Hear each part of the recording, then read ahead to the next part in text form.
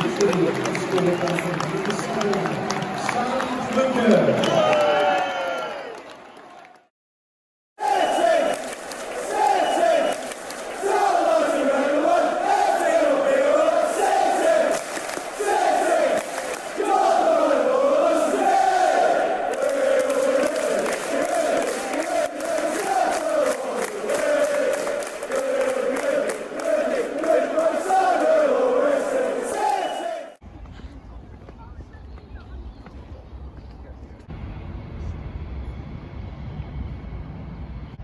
Hey up guys, I'm SSC and today is Coventry City at home, the final day of the season of what has been, I think overall, a good campaign. We've shown we can compete at the top of the league, although we did drop off over Christmas, disappointing, but again, like I say, it shows we can compete up there. Coventry today, who have pretty much followed a similar trajectory to us this season, started off really well, tailed off a little bit, um, obviously they did beat us at their place one goal to nil earlier on in the season. I'll be doing a season review where we just go over the whole season because I think there's a lot to dissect um, in the probably next week. Before we get started I just want to say a massive thank you to everyone for the support throughout the season. It's been an enjoyable season to, to follow. It's, it's just been really nice to be back in the grounds and hopefully this last vlog will be a good one before we get off to end the season. But yeah, without further ado, let's get in the ground. Come on Stoke.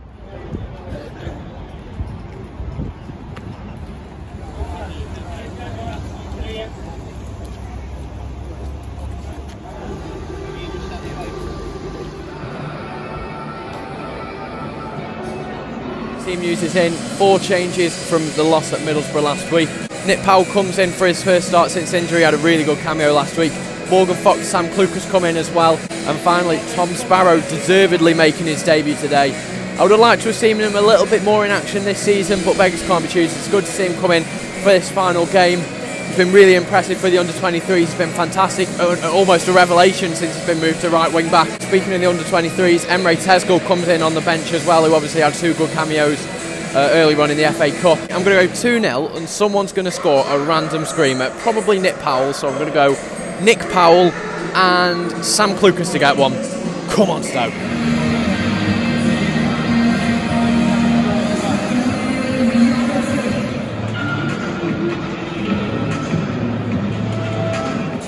Twenty-five, Nick Powell. Thirty-nine, Tom Sparrow. And forty-two, Bruce Baker.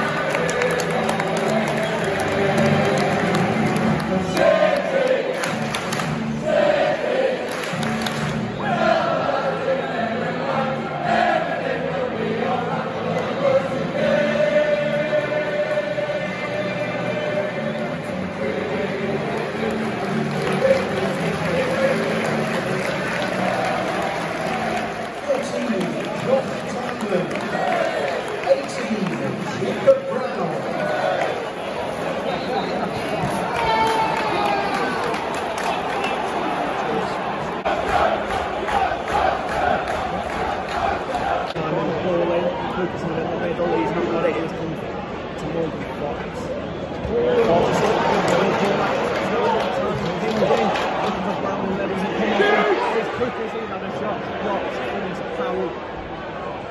it's had a box, deep ball in, looking for Sparrow at the back stick, read it in, have it. Good turnout from the Coventry fans, including the Teletubbies.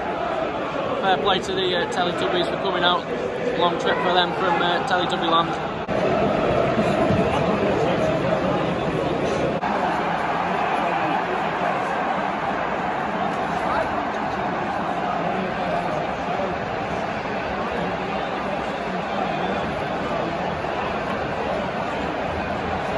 Fifteen minutes in. I don't know whether it's offside. Cocker has put it in.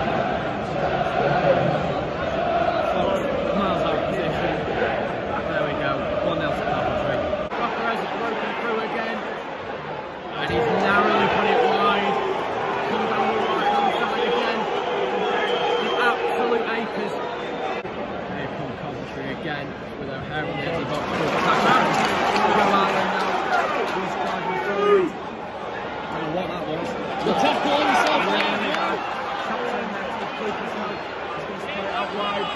Simon, Simon low ball, looking for Quicken.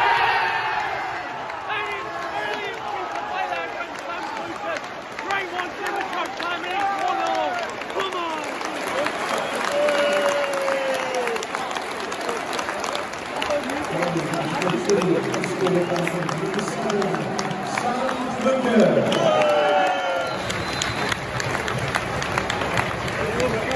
time, one all. Clucas made the goal just before half time. Good build up. Um, bit lucky, but we'll take them how they come. Um, Coventry's goal early on. Uh, has got it. Really poor defending from Morgan Foxman in particular. Bursik could have been a bit tighter to his near post as well. Wasn't the best goal for them. Um, but no, there's definitely another goal in this. Coventry have been dangerous coming forward. I think we we should probably be behind. Um, we started really well, and then the moment that, that Coventry came forward, it's almost like in a boxing match when you feel the first punch, you you sort of start to panic. It all changed from there. It was pretty much all Coventry up until our goal. So uh, yeah, we've not been great. Always time for a change. So uh, yeah, let's get the second half. Come on, Stan.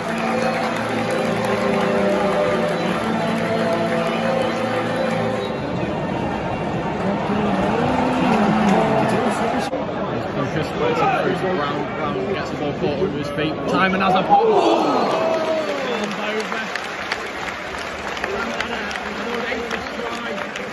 From the best part 30 yards, almost looped in, one to Stoke, 49 minutes in. It's going to be an in swinger from Baker. Powers up. He doesn't win it though. Falls to Clucas on the edge of the box. Who gets the ball taken off him by O'Hare. Now we've got Perez. He's battling with Sparrow. Pinned down the left. It's probably to take forward. The the the out for a corner. Really good move, it inside.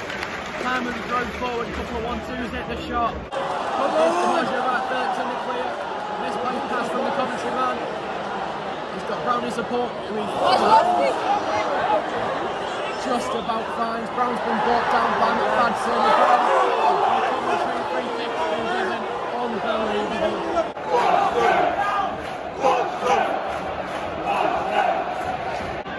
Here's Tymon now on the right, inside to Baker, who can have a pop if he likes. It's been hit, it's blocked. Appeals for handball, looks like it's going to go out for a corner, it does. Last chance now, I think a goal is put in the top half. It's Coventry above us by two points as it stands. Played short by Baker to Sawyers, it's now back with Baker. Now we're back with Sawyers, Sawyers can have a pop if he likes. It's now with Baker who's played it in and! And that's it, one all draw.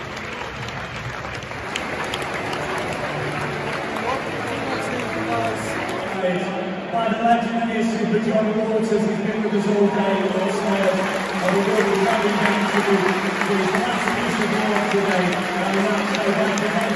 to Beth Mr. Ty, player of the season award, to the one and only, to Jacob Brown.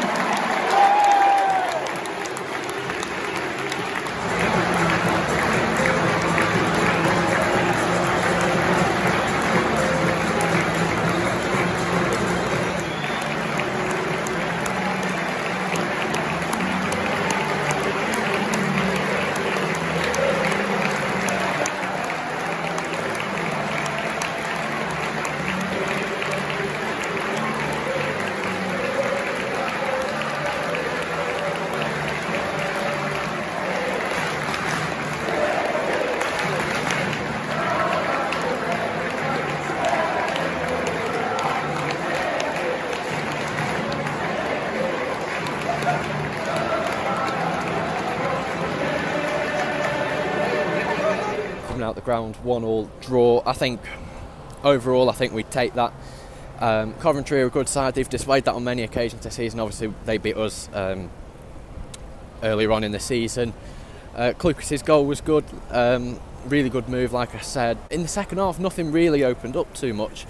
Um, there was a couple of chances here and there, uh, but I can't really recall um, us forcing Coventry into any um, real danger. Probably just the just the one where Tymon drifted through. Bursik made a couple of good saves in the second half. Tom Sparrow deserves a mention as well. I thought on his debut he was tremendous um, and someone I would like to see feature a lot more next season. But with that, the season is over. I think overall, I think it's been a good campaign. I think when people started the season, I think would have taken, you know, finishing 12 13. I mean, with the context of it, it, it's disappointing looking back, thinking of the great start we had, especially when we beat West Brom.